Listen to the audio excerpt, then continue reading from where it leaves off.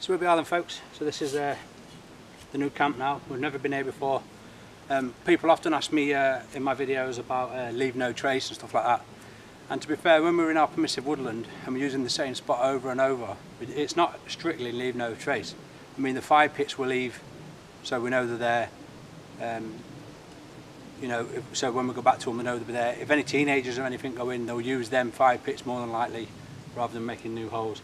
And then we'll use them until we've exhausted a bit of the resources, and then we'll, we'll clean them up then, and then we'll move on. But obviously, this is a new spot, a new place.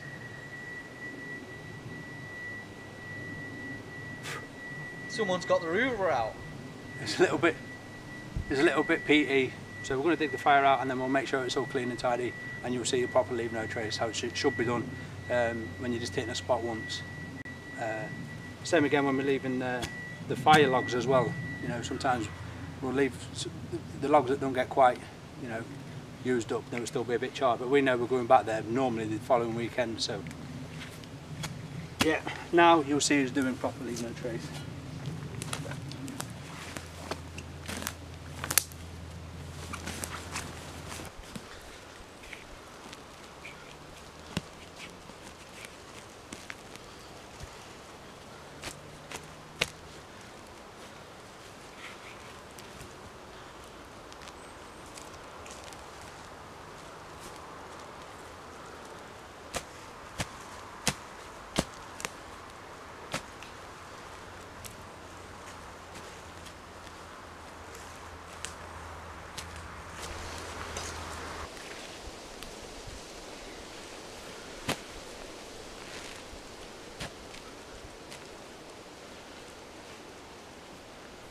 I've approximately dug out a hole about three foot by two foot by three to four inches deep.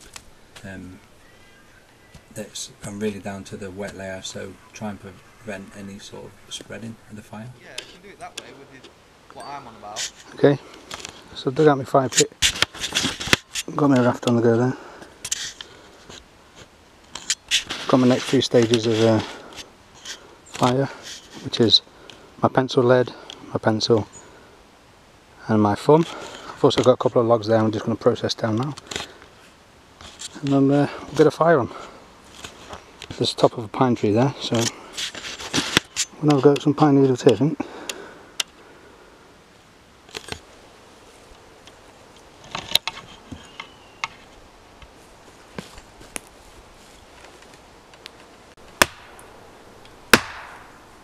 I'm going to try and um, chop these logs into quarters or eighths and this will be the fuel wood for the fire.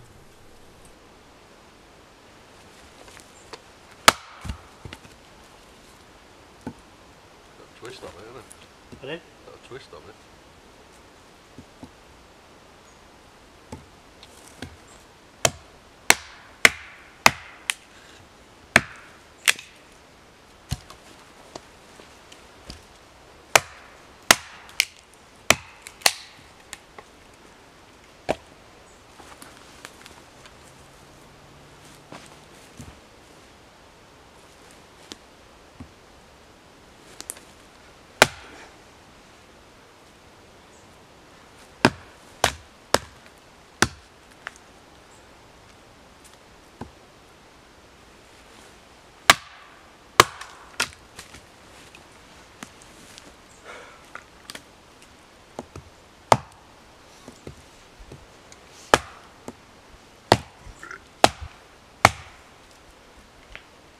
Dry as I thought.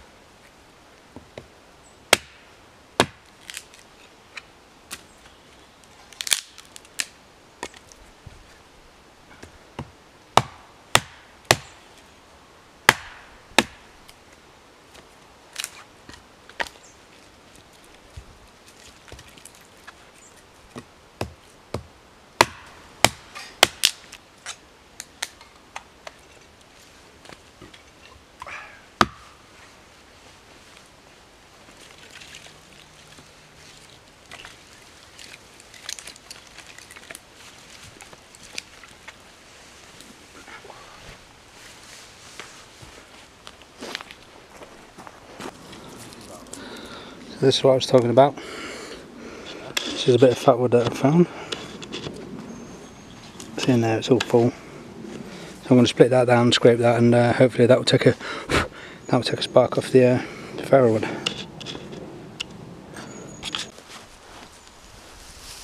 The raft below is my dry platform platform to start my fire on. It also stops uh, drawing moisture from underneath a little bit. And now I'm just scraping the fat wood down into a, a finer dust so it helps take the spark easier.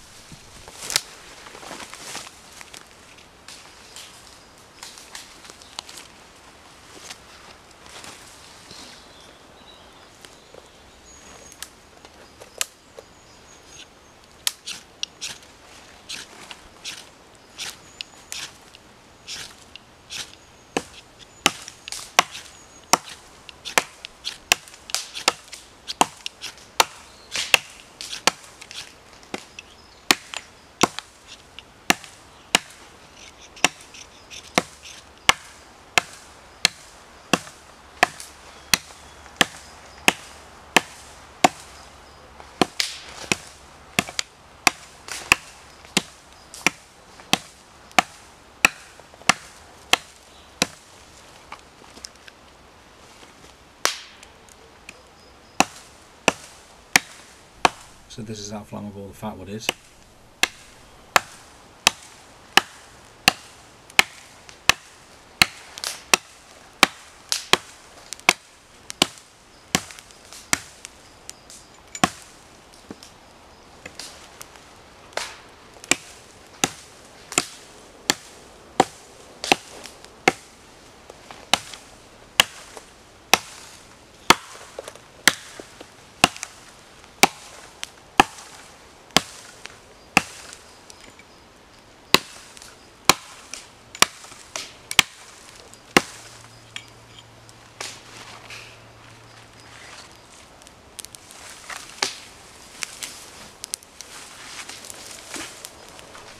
I'm now moving on to my uh, pencil size second bundle.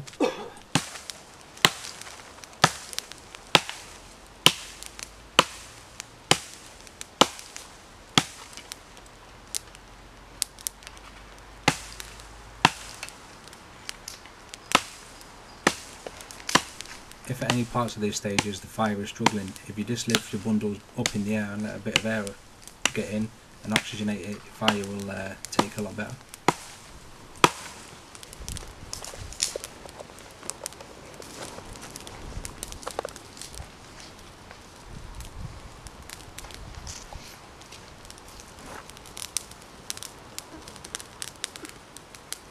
Now we're gonna have a forest fire on the way.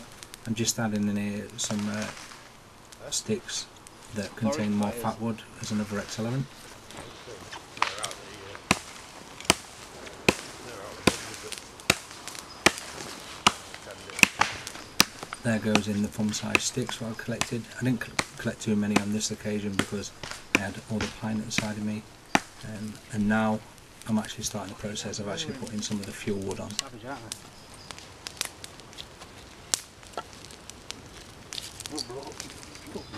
Back the moment.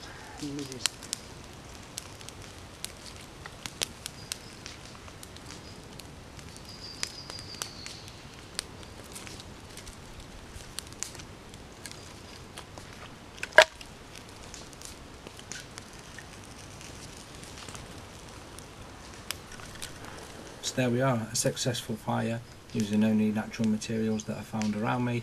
Um, and this fire Get a brew on me. uh, 100% confident would never go out from this stage now.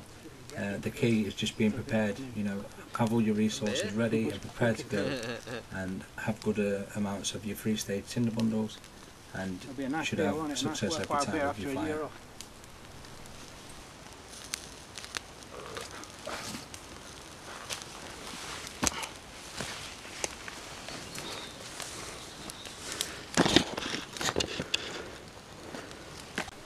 So we let the fire go out a good few hours before we was leaving uh, and now I'm confident it's not smouldering under the peat and now I can cover it up and make it look like we hadn't been there.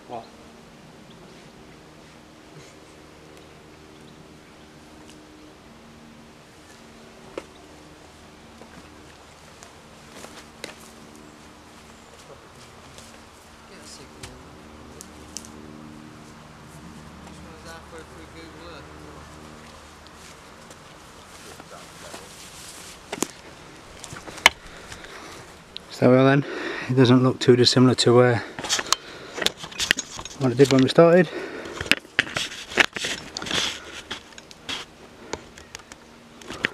Or to anything else that's just lying around.